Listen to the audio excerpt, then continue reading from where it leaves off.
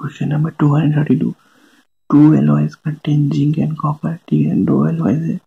वो जिंक और copper contain करते in the ratio two is to one and four is to one के ratio में। In what ratio the two alloy should be added together to get a new alloy? Having zinc and copper in the ratio 3 is to 1 के ratio में हो। तो इस question को कैसे करते हैं? ठीक है, इस क्वेश्चन को करने के लिए हम कोई एक ले लेते हैं, या तो हम लोग कॉपर ले लेते हैं, या तो जिंक ले लेते हैं। मैं जिंक लेके करता हूँ by zinc by Z N लेके करता हूँ मैं। तो क्या करेंगे? ए और बी हमारे पास दिया हुआ है, ठीक है।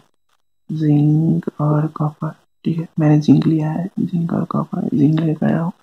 ये हो जाएगा? Two by three two by three हो जाएगा ना? टू इज़ टू थ्री का रेशियो में टोटल थ्री और जिंक लेके कर रहा हो तो टू बाई थ्री ठीक है और इधर क्या हो जाएगा? बी में क्या हो जाएगा? फोर बाई फाइव ठीक है?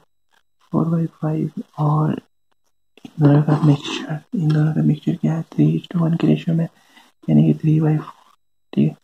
और इन तीनों का है, एल्सियम एल्सियम लेते हैं। इन तीनों का एल्सियम कितना जाएगा सिक्सटी और इन तीनों को बराबर करते हैं, यानी फ्रैक्शन को हटा देते हैं।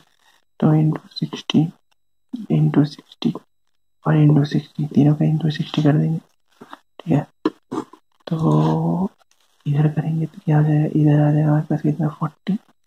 इधर करेंगे तो कितना आ जाएगा? इधर आ जाएगा फोर्टी एट। और इधर करेंगे तो कितना आ जाएगा? इधर आ जाएगा पास फोर्टी फाइव।